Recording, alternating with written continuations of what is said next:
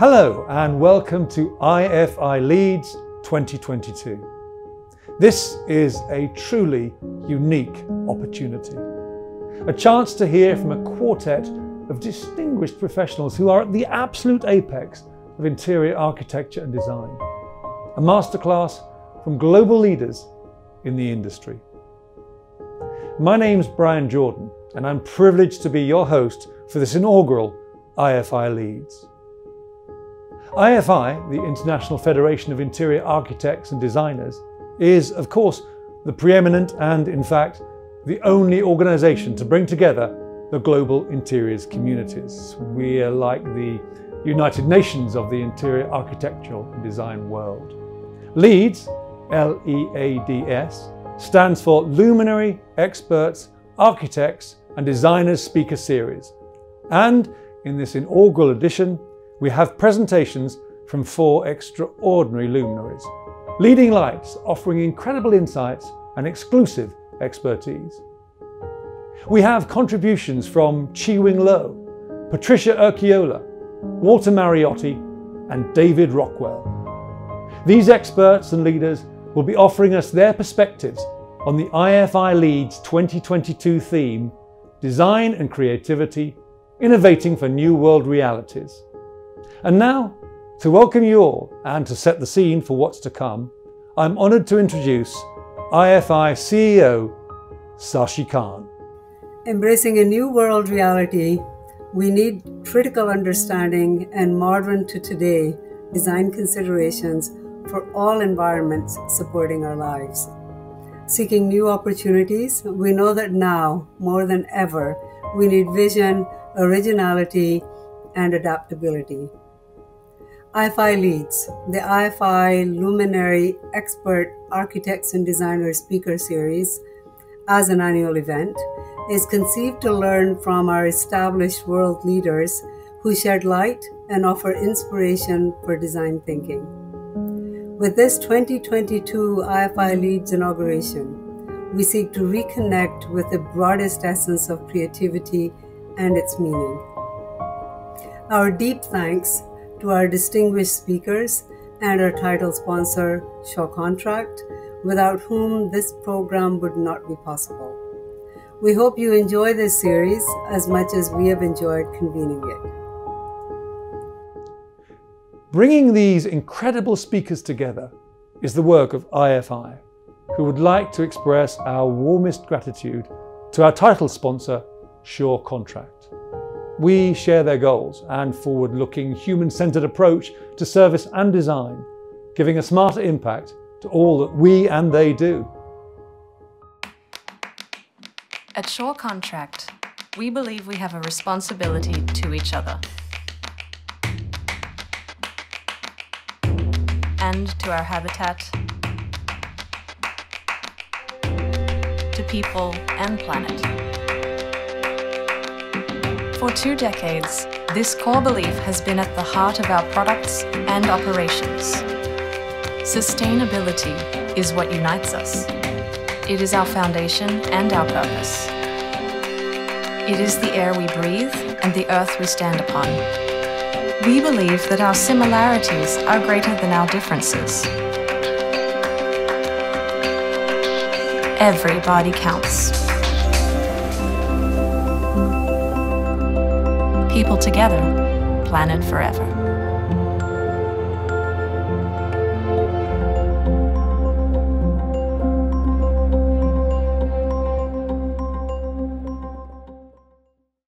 Now it's time for the first of our luminaries.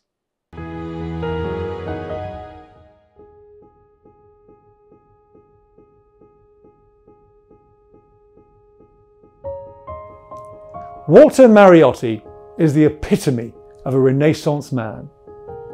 He studied philosophy in Siena and Harvard, economics and management at Bocconi in Milan, and his CV runs across a range of roles and disciplines, including university professorships, a journalistic career, and founder of Quid, a boutique of culture economy and strategic consultation. He is the editor-in-chief of Domus, with the task of conceiving directing and developing the Domus system, including magazine, website, archive events and intelligence. His achievements have impressed and inspired many. Always engaging, engrossing, and fascinating. Walter Mariotti. I personally think that uh, it's very important to reflect about uh, the word uh, creativity, especially after the pandemic uh, period that we always uh, hope it's going to reach an end. I think it's important because uh, the creativity is the place that nowadays, in our complex time, in front of the fourth capitalism, it's acquired uh, what in the past was the place of politics, and uh, maybe not only politics.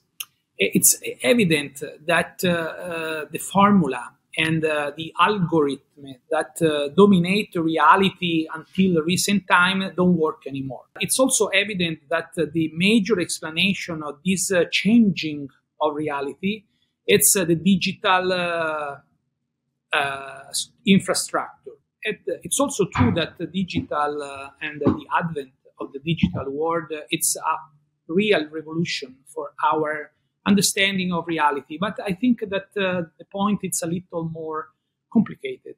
What happened with the digital and the te- technology in our life is that uh, technology is a concept that uh, all the philosophy of the last century indicated as a, a very mm, huge shift in uh, cautions, in uh, the way that we could uh, indicate as theory. Theory is a Greek word that uh, uh reminds us a time which is uh, eternal, and it's it was the delegation of people that in ancient times was sent to look at the games. The games were Olympics, for example the theory, the delegation, could watch but not participate. And in fact, we encounter this verb, theorein, in the uh, poetic tradition, like Homerus. And uh, this indicates that uh, theorein is the opposite of another, where, another uh, verb which is uh, skeptomai. Skeptomai, skepticism, it's a, kind of a different uh, way to look at things. In our times, this philological approach, it's very interesting for me to understand why um, creativity and design are very important in our times. Because also design is a strange word. Design, which is used uh, all over the world uh, in a very, you know, day by day expressions, it's not so simple word. First, first of all, uh, design it's a noun and a verb. But uh, uh, this duplicity open up also different dimension of the verb. Uh, design, it's definitely a word coming from Latin, and uh, in this design uh, Uh, is uh, inside uh, a secret. Design is not a, a pacific uh, verb. It's not a pacific activity. Design, it's a verb that uh, consider inside a kind of plot, a kind of dangerous intention. And in fact, coming back to the poetic tradition, we can uh, easily affirm that the first design object was uh, the horse of Troy, was the machine that uh, Ulysses and Menelaus realized to make a trick.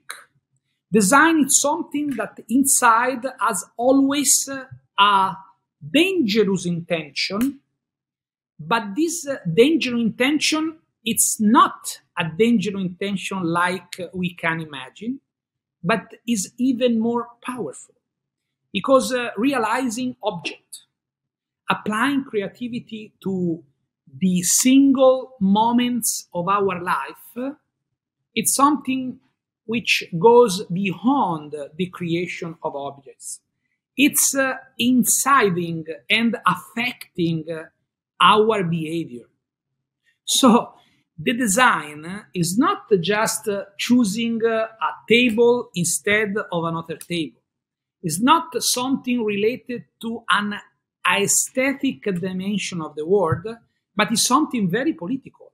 A designer is a person who is uh, able, through creativity and putting together functionality and aesthetic, to change the world, to change the way that we approach the world.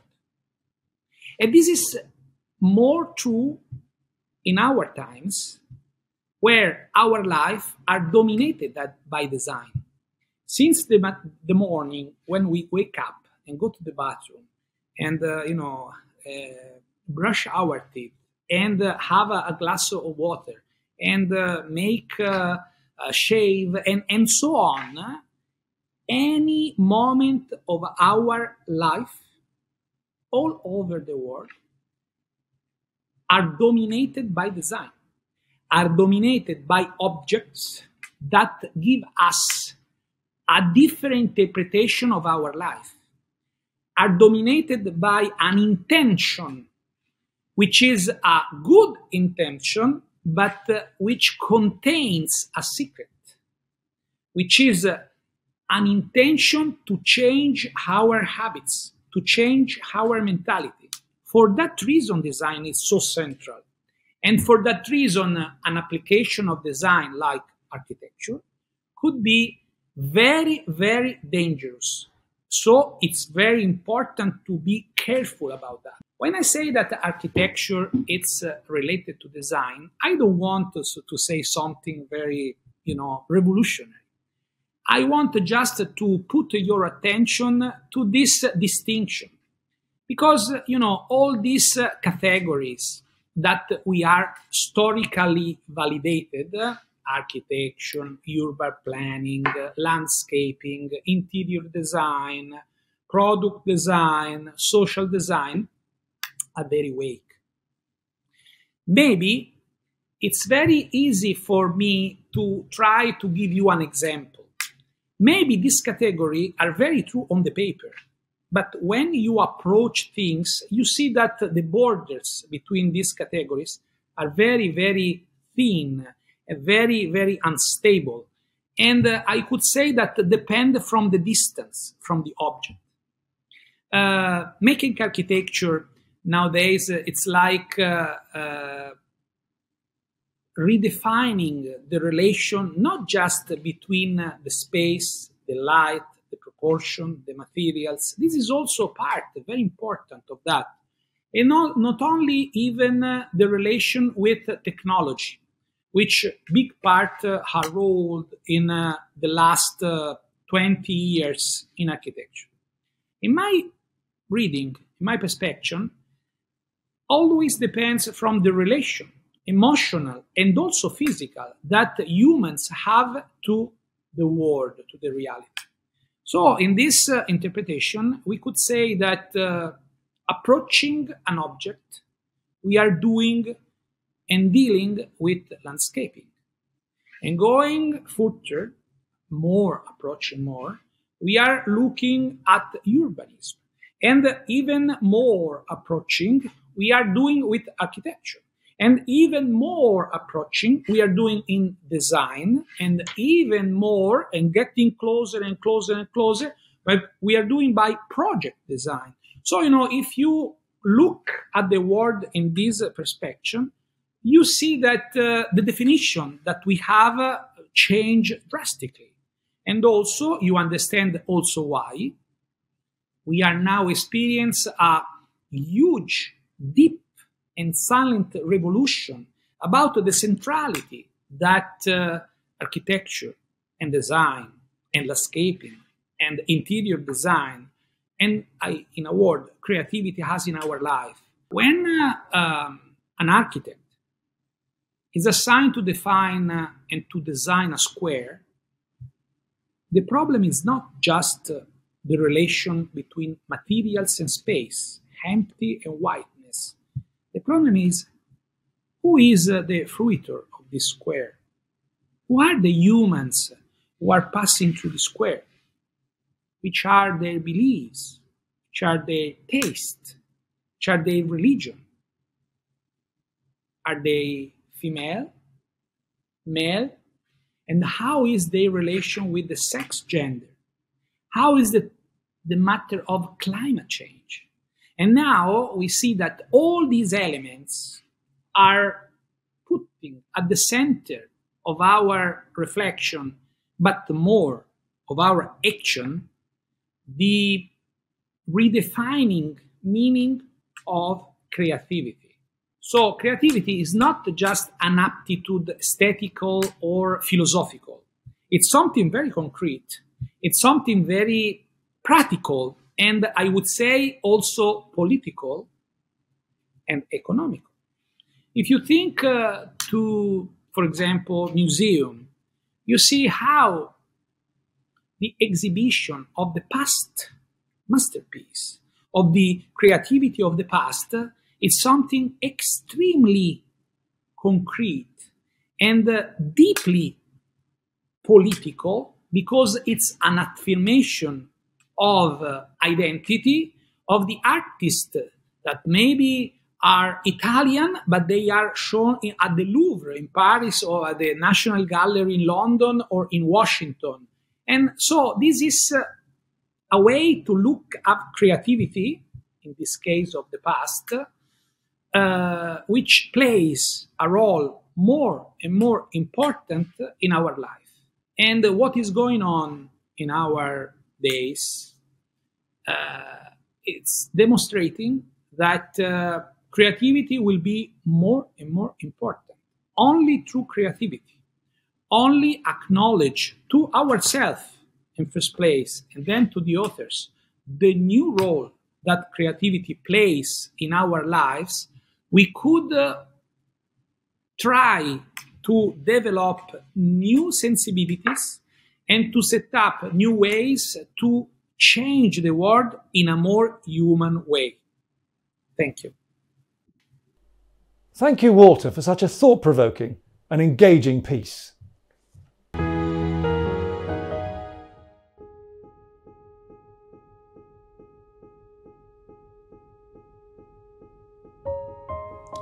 Chi Wing Lo was born in Hong Kong and has a master's degree in architecture from Harvard University.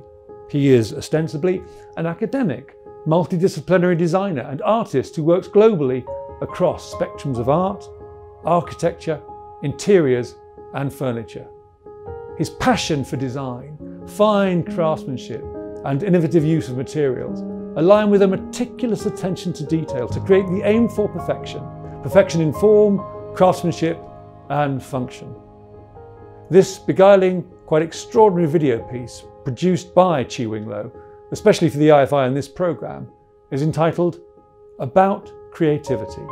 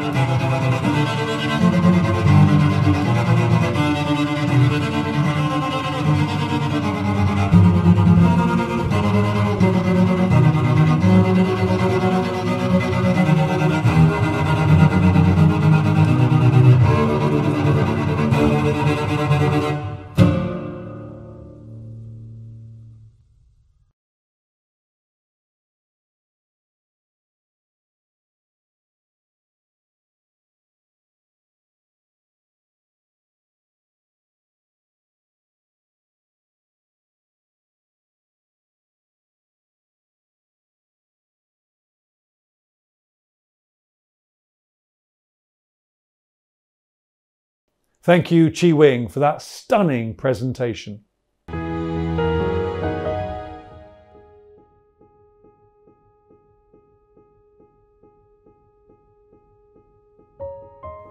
Patricia Urquiola specialises in industrial product design, art direction, strategy consulting, and architecture. She is multi award winning, from receiving the Golden Medal for merits in art in her home country, Spain, to being named Designer of the Year by many international magazines.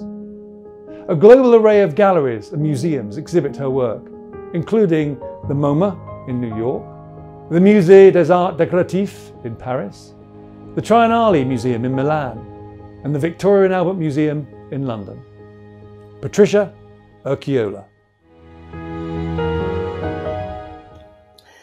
I'm glad and motivated to talk with you at the beginning of a period when uh, me and possibly many of you are humbly revisiting our path. I've been really lucky these years to work on different scales of project, uh, different cultures and locations. Working with people that I like uh, as my enlarged family that includes my team and uh, why not my clients that became that become uh, friends very often. It's a multidisciplinary approach. We design products, interiors, uh, architecture, art installations, and art direction we analyze and design physical objects, uh, structures, picture spaces. We design behaviors at the end. No, uh, we can investigate uh, thanks to a real conversation with experts in other fields of contemporary culture and research. As example, material labs, digital developers, uh, artists and philosophers, botanists and writers, and so on we, we try we try to understand and to interpret the, the present and, and, the future of living, of working and, and moving and traveling and, and hosting. Those are arguments where we move, we, we, we flow through, no? Um, but how can I relate to, to that user so, so similar to me, but at the same time so different, no? I, uh, I can't and I don't want to impose one rigid idealistic vision. My, my goal uh, has always been uh, to offer tools for living, evolving, and evoking ideas. I try to observe, smell, to listen uh, as much as I can, to see the future through to my present and contribute to translate it. And, but this many times is not so easy or clear, no? Uh, the beauty, for example, happens not only by choice or strategy, but by the randomness of life too. The fact of starting studying architecture in Spain and then in Italy obliged me to exercise an attitude uh, towards uh, comparison and to expand the vision circle. I'm quite young, that is a good thing. And in Italy, I, I think I discovered product design and the idea of working in a different scale. Uh, there is nothing more simple and beautiful, but even more terrible than a domestic tool. It says more about yourself than any other thing. It can also fill you with wonder or contempt. Creativity in my land uh, is a continuous domestic exercise, and domestic is eternal. For me, the, the process, the path, teach you as much as the solution an arrival many times does not exist in reality, but needs to be declared. You could continue developing it forever, but you could lose the sense of time or the necessity of a future contemporaneity.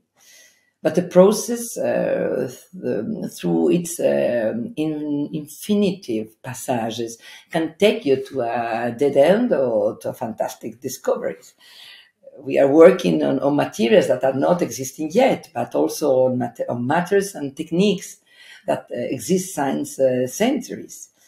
For example, like years ago, we've been uh, designing porcelain from a craft approach with artisans in Kyoto with a tradition of four centuries. And at the same time, same period, we worked with an industrial approach with Rosenthal in Selbe, uh, Germany, which has a story of more than a century But also uh, this year, last year, in the school of Capodimonte in uh, Naples, founded in the 700, we've been doing a research. Um, the all these three uh, situations they all have in common how to transform water and powder into a solid alchemic piece. And in the case of Kyoto, so isolated, it was about uh, how to build a bridge with the present, no? But in the case of Rosenthal, how to teach uh, their machines so exact, not to become craftsmen or making molds produce a more sensitive porcelain. And now in uh, Capodimonte, integrating uh, organic and random materials into porcelain, like uh, moss and lichen uh, and pieces from the woods around the school, which is a fantastic uh, park uh, that surrounds the school, and um, even foam, ropes, and other materials obtaining an organic form instead of simply organic inspired shapes. That was what they were doing for, for centuries. And um, it happens sometimes we that we overturn the point of view. Doesn't have to. It's not obliged. It can happen. And today we try more and more to, to integrate, um, obviously, the waste and leftovers into production to give a new value and, and upcycle, uh, increasing always the significance and reducing our footprint. That is uh, obviously is an argument that is crossing my relation with many companies and and in architecture too, we try to, to follow the, the, the, process that that makes sense for the identity of the place or of the needs of the, the maker that we are working with, obviously, but um, obviously too for the user, which now lives in, in a much larger uh, context, uh, not anymore just uh, human centric um, I'm, working, for example, with Cassina, an Italian pioneer of, of design, and my job uh, with them is, is, being art director, but also as one of the designers, as an, archi- as an architect too. We are changing, for example, the perspective and redesigning the, the, the perspective of the company, the redesigning the factory, uh, the showrooms, working on communication, exhibitions, and creating a Cassina lab for sustainability.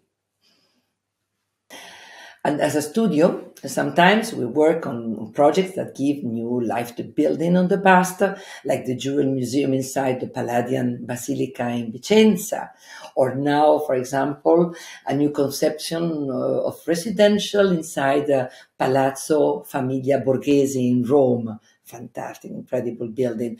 In Venice, uh, we designed a hotel in uh, the historical Ca' di Dio from the 500. Here we had the honor to, to work on a building by uh, Sansovino.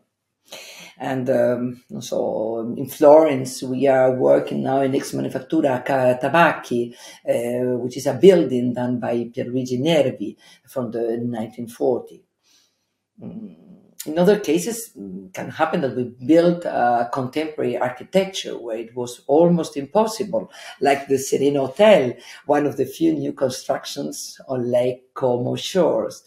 And uh, that's an example for me where all our research come, comes, came together um, from architecture through product or, or, the other way around. In all scales, uh, we, we're working in an organic way from new surfaces, uh, new materials, new objects, till lighting, acoustic, so energy impact, um, landscape, art, uh, di- in digital and in physical way, and all these origi- originated uh, researches um, in products that they they they had a longer life even than the product of architecture, and this sometimes happened in the contrary, you know, just with a with a kind of way back to this.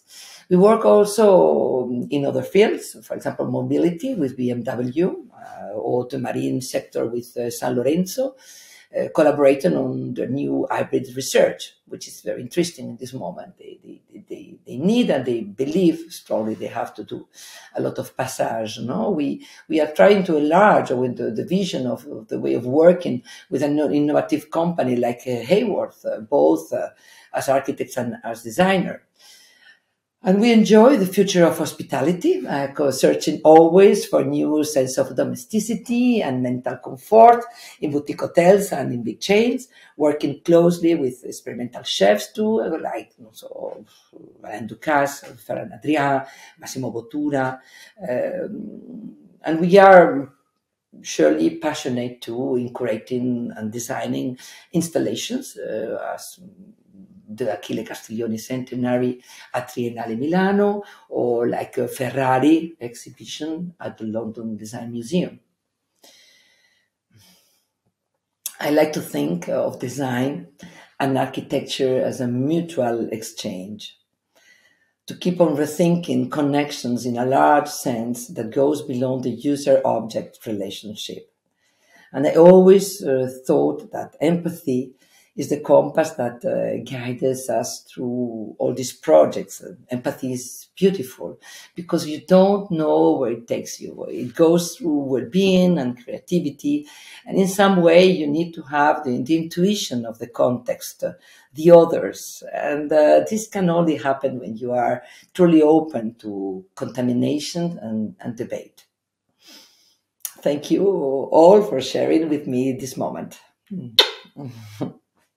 Thank you, Patricia. Some great insights and a superb presentation.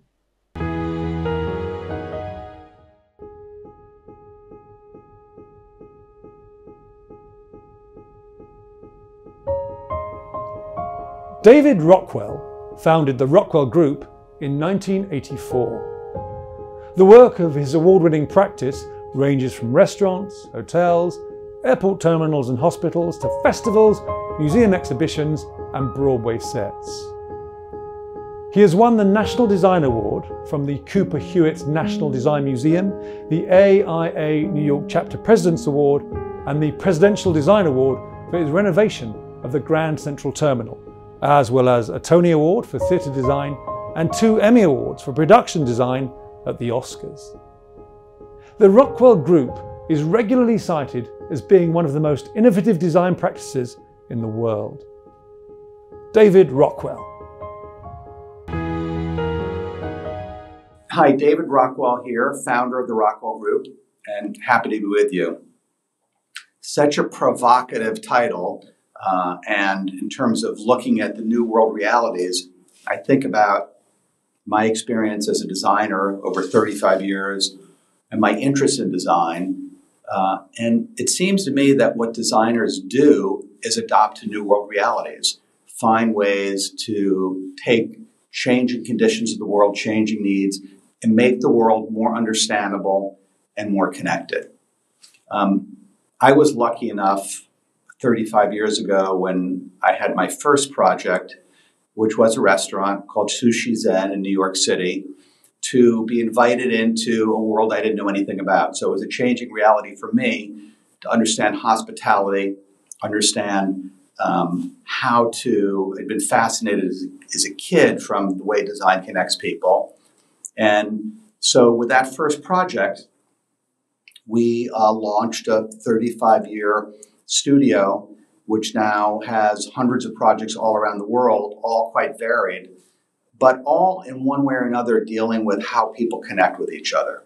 And I think that is the single defining design element that um, that characterizes our work.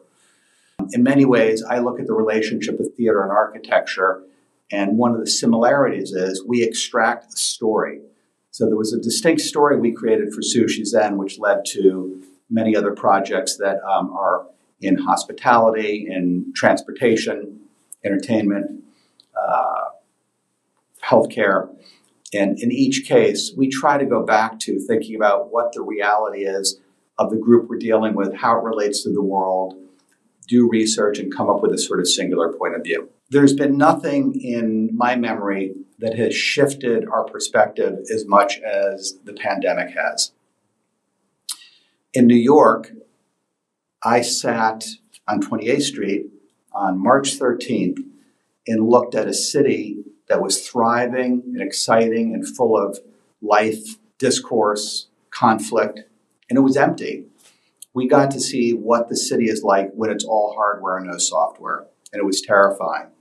And it reinforced the importance of the life, the people who animate the city, that that's really what the physicality is built on.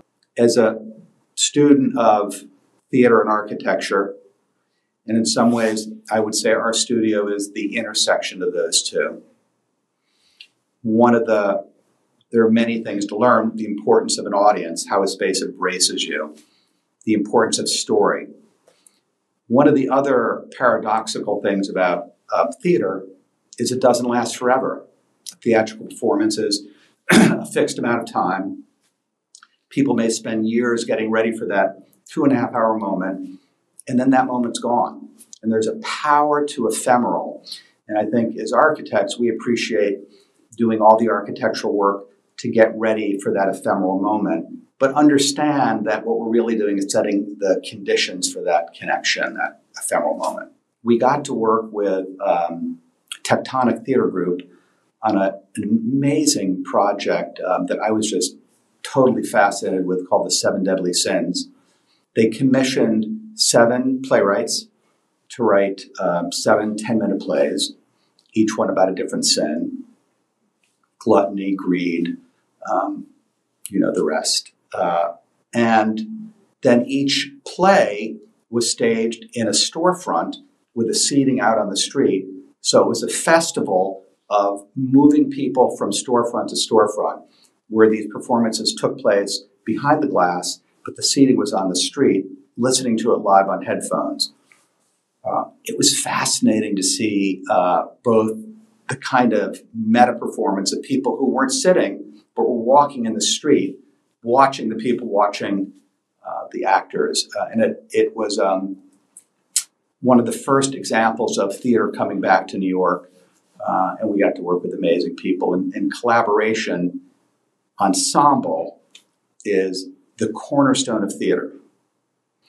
The same is really true in an architectural space. So we, we think that notion of ensemble, whenever we can dive into it, is a kind of masterclass in theater. It applies to our architecture as well. And the Seven Deadly Sins was certainly an example of that. Another project that harnesses um, the power of empty space is luminarium. Luminarium is a, a neutral, highly engineered box that uses 360 uh, high definition projection, haptic technology in the floor, um, and uh, state of the art interactive um, feedback. And it allows uh, a luminarium to bring you at real scale to places you may never get a chance to go. Some of them you clearly won't. Our next installation is called Space, and it is about walking on the moon the current or the first installation was called Wild, and it's a, a walk into a safari, and it uses every element you can uh, in this simple box to transform you, instantly take you to other places. Um, so in some ways, it was like the polar opposite to uh, Seven Deadly Sins, which technology couldn't have been simpler. Uh, in this case, it was technology, not for technology's sake. And I strongly believe technology, just for technology's sake, is inherently uninteresting. It's interesting if it has a story and a mission. So those are kind of two extremely different examples of storytelling um, that were both done uh, just post COVID. About a year and a half ago, um, I was approached about designing the Oscars for the 2021 Oscar ceremony. Um, I'd had a a long experience with um, the Academy, having done the theater, the Dolby Theater, which opened in 2002 as an architect, and then in 2009 and 2010, uh, doing the production design for the Academy Awards. Um, I had a lot of um, interesting feelings about that ceremony and what it provided for the audience there, and, and um, and I was intrigued because I knew from the beginning that everything would have to be different. They weren't going to do it at the Dolby. Um, it was not going to be thousands and thousands of people. It was going to be maybe 170, maybe 200 people. But the conditions of how to do it were constantly in flux with epidemiologists, officials in Los Angeles, who, up into the moment of a week before the show, were working on um, protocols for making it safe. So we knew it had to be in a different space. And that immediately was the kind of project that got our attention because it meant embracing an existing space.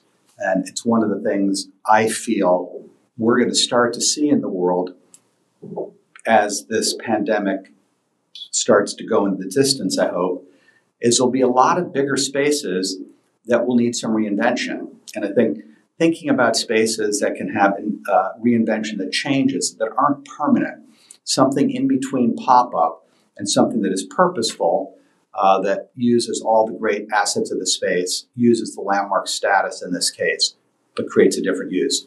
So, Union Station uh, was going to be the home for the new Oscars.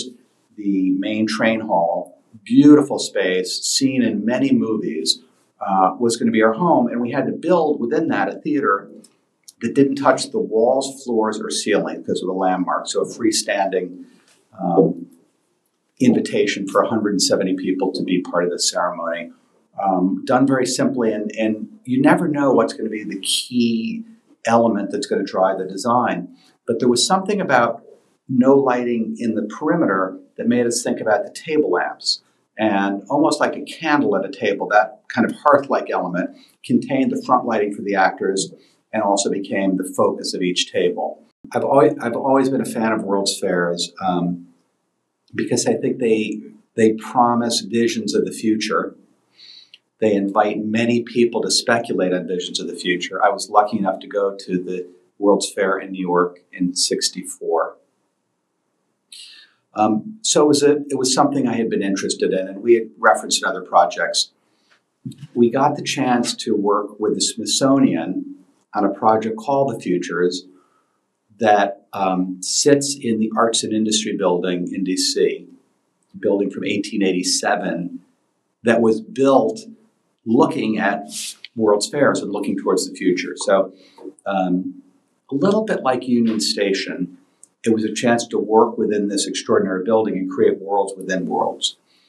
Uh, our role as the designer of the exhibits was to work with the Smithsonian, there are multiple curators, as they reached out to artists and scientists and thinkers and inventors and create a way to put all of that information in a way that was hopeful, um, in a way that was easy to access, that invited looking at it from every possible angle. Uh, and it really was uh, a, an opportunity to be part of the National Mall on um, a very provocative look at what the future might be. Uh, and the Smithsonian made the decision. Um, this also began pre pandemic, so you can imagine how much that stalled during that period.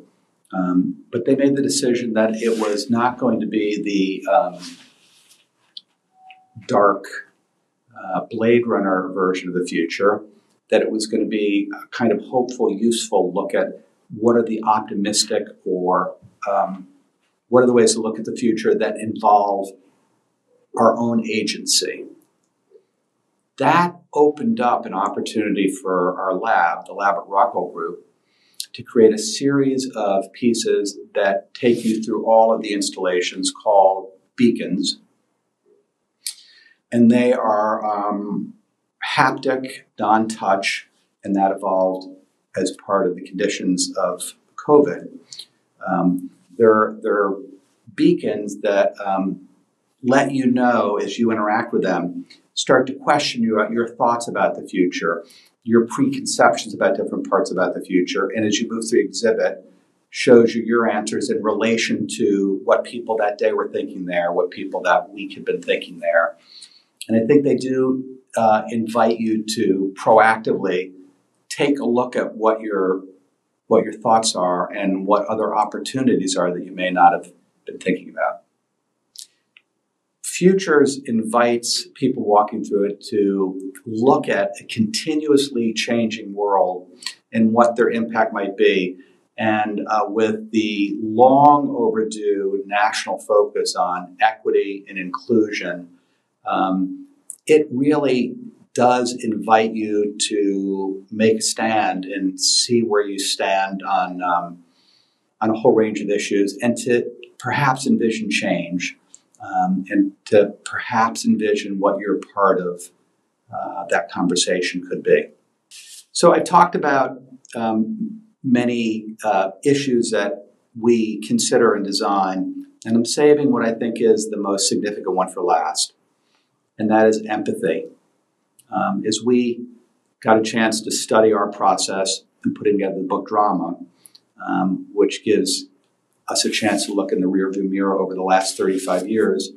Um, empathy or places that connect connect people um, is really the single driving force in our work.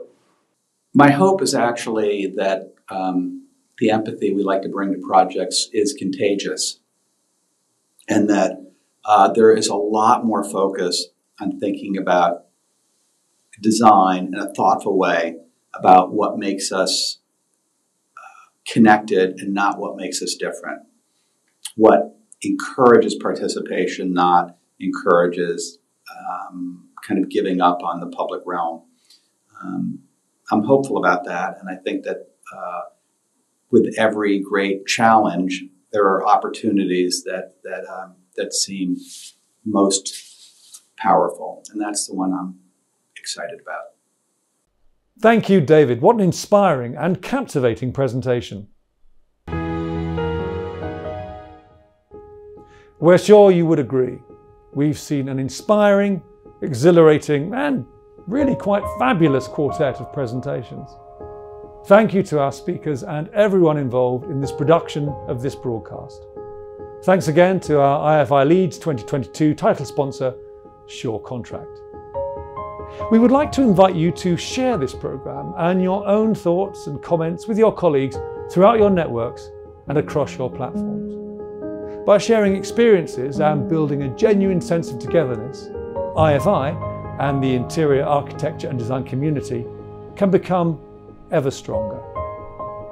Thank you so much for joining us for IFI LEADS 2022.